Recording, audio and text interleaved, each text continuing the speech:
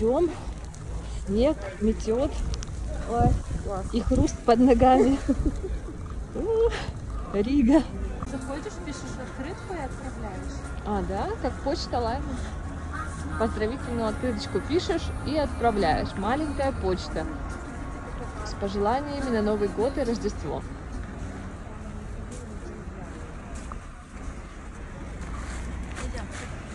Огромный длинный пешеходный переход. Начинается отсюда и заканчивается аж вот там. Смотрите, какое красивое освещение. Город уже украшен под Рождество. А Вот здесь мы будем чем-то вкусненьким угощаться. Рижская кондитерская. Сладости, угощения, булочки. Давай так сделаем. Вишневые штрудельки будем угощаться такие. Свеженькие. Посмотрите, как все вкусненькое. Свежая выпечка. Ой, это мой рай, серьезно. Пирожный, тортики.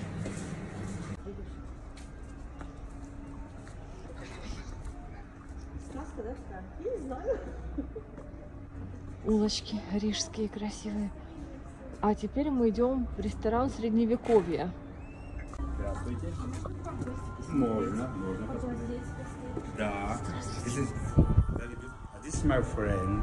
Вау. My friend Bimbambo. Very, very hungry. Enjoy the night. Прекрасный, Здесь что, интернет сработал, что ли? прекрасный вечер. Это ресторан в виде средневековья. Здесь ходят все в платьях таких. Вся посуда, ну, деревянная.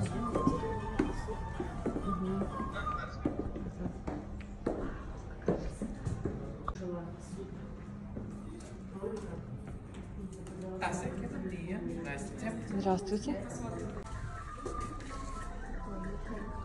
Типа все старые. Не. И нет, там кто-то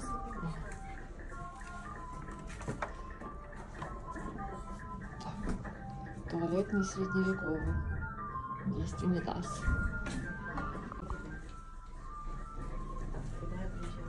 А, в четверг в 6 вечера в Сан-Франциско.